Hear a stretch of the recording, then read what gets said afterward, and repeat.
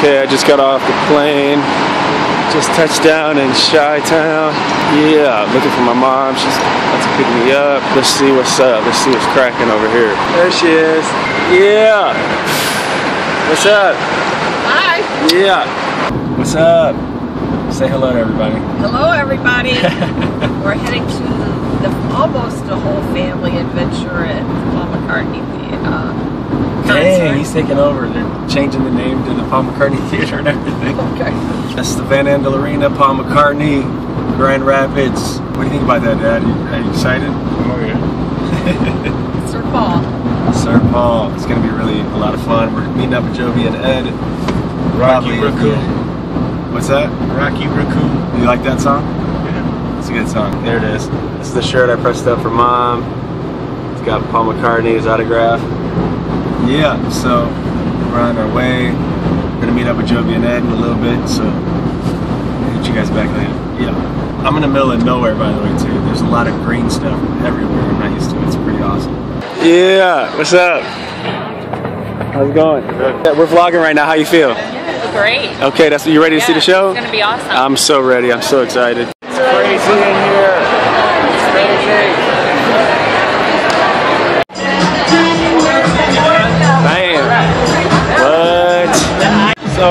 Excited about this concert. It's gonna be amazing. It's crazy because the last time I was here at the Van Andel Arena in 2002, I performed actually on the stage with uh, Popstar. yeah. It's really incredible.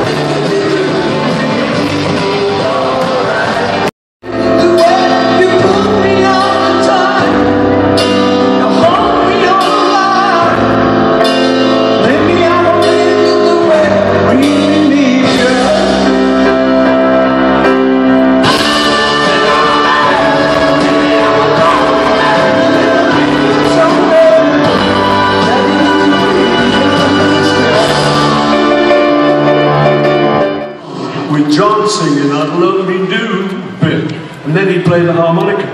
So he'd go "Love Me Do" came in just after he sang it. But George Martin on the session, he wanted to change it, so he said, um, "John, is it possible to play it on the beat?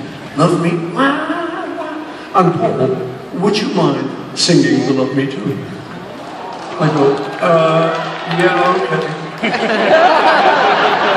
I mean, I was nervous enough already. Um, so to this day, when I listen to the record, I can still hear me go, love me do.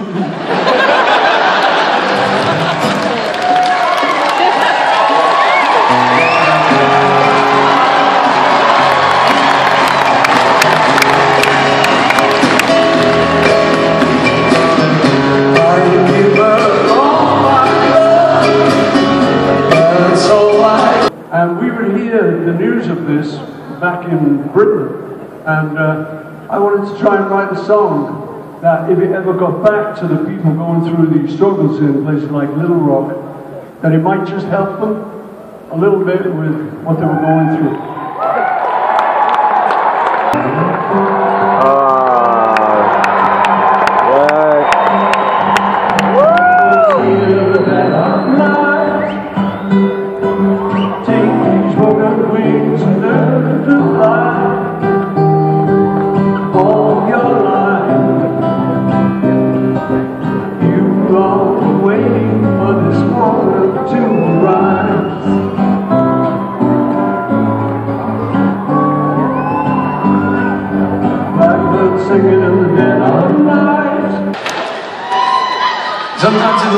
Know, you want to say something nice to people, and you think, I'll tell them tomorrow, I'll, I'll put it up, or maybe I'll tell them next week. And then suddenly it can be too late. Um, and I wrote this next song after my mate John passed away. Let's hear for John.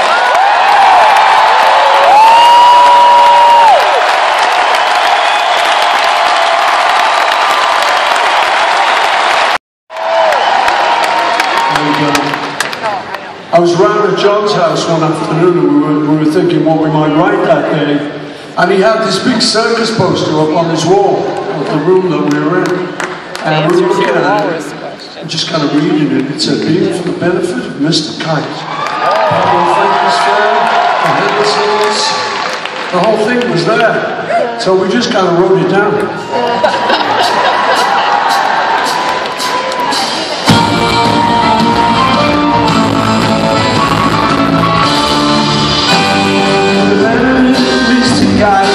Kite, there will be a show tonight on trampoline.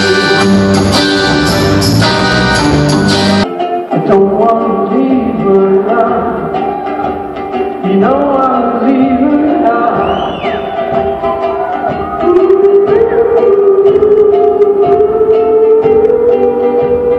We were invited to go and play in Red Square in Moscow. We were actually the first rock and roll band to play in Red Square.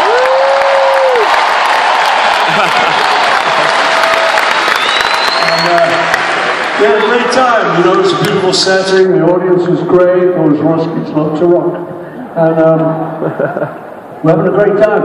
What was interesting though was like backstage, there were members of the Russian government, because it was Red Square, the Kremlin and everything, they were all uh, hanging about. And um, somebody comes up to me, points out one of these guys, he says, that guy is the defense minister of Russia. I'm going, wow, big job. and uh, anyway, he comes over to me, this guy. Says, Paul, first record I ever bought was Love Me Do.